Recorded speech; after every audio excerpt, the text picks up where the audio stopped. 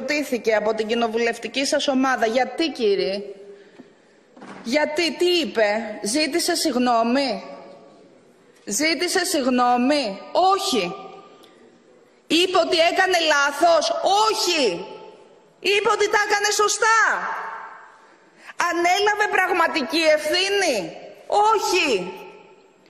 Εξήγησε για ποιο λόγο αγνοούσε τις προειδοποιήσεις των εργαζομένων; Όχι. Εξήγησε γιατί κουνούσε το δάχτυλο σε βουλευτή, τον κύριο Μεϊκόπουλο, λέγοντάς του ντροπή, ντροπή και ντρέπομαι που θέτεται θέμα ασφάλειας.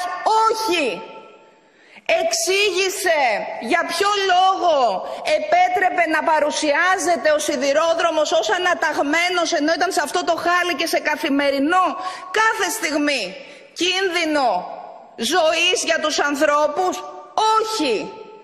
Ενημέρωσε μήπως για τις συνεννοήσεις που είχε κάνει με τον κύριο Μητσοτάκη για να εντάξουν σε έργα το σιδηρόδρομο από τις οποίες γνώριζε πολύ καλά το χάλι, διότι και πολλά έργα δεν εντάχθηκαν, ακριβώς λόγω αυτού του χαλιού, και πολλά άλλα έργα εντάχθηκαν μετακόπων και βασάνων. Το αποτυπώνει στην κατάθεσή του στην Εξεταστική Επιτροπή. Σας παραπέμπω στα πρακτικά που έχω ήδη καταθέσει για τα πρακτικά της συνεδρίασης υπαναχώρησε έστω λίγο από την ίησή του, από την αλαζονία του, την αλαζονία σας, όχι. Αποστασιοποιήθηκε και διαχώρισε τη θέση του από τη σκεά χιδαία παρουσία μελών σας και υπουργών σας που όλες αυτές τις μέρες υβρίζουν όποιον ζητά ευθύνες. Όχι. Ένωσε τη φωνή του με αυτούς που λιδωρούν και επιτίθενται σε όποιον του ζητά ευθύνες. Ναι. Επιτέθηκε σε όποιον ζητά ευθύνες. Ναι.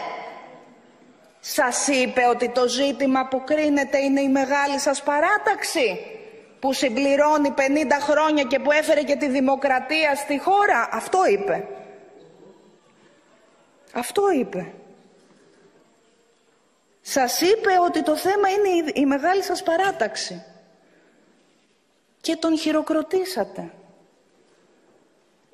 σε κατάσταση έξαλλου πανηγυρισμού, έξαλλου πανηγυρισμού που φέρνει σε αμηχανία ακόμα και μας που ξέρουμε πάρα πολύ καλά. Και πόσο υπεύθυνοι είστε και υπέτη και πόσο αδίστακτοι είστε. Ο κύριος Καραμανλής χειροκροτήθηκε σαν πρωθυπουργός χειροκροτήθηκε από την κοινοβουλευτική σας ομάδα σύσσωμη σαν Πρωθυπουργός. Και αυτό αντικατοπτρίζει τη γραμμή του κυρίου Μητσοτάκη, προστατεύστε τον, χειροκροτούσατε και τον κύριο Μητσοτάκη στο πρόσωπο του Καραμανλή.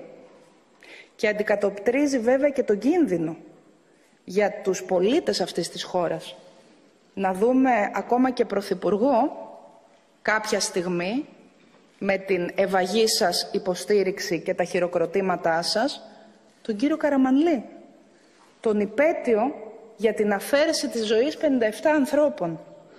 Είναι βαρύτατη η ευθύνη σας, κύριοι.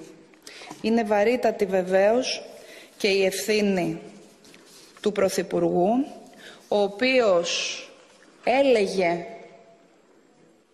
και διαβεβαίωνε τους πολίτες σε μαγνητοσκοπημένο μήνυμα ότι δεν θα γίνει η Ελλάδα η χώρα του Μπλάνκο και έχετε μετατρέψει κάθε διαδικασία σε διαδικασία συγκάλυψης και Μπλάνκο.